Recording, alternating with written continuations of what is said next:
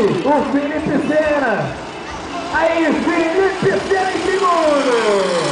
O garotinho que conheceu a liderança por alguns minutos.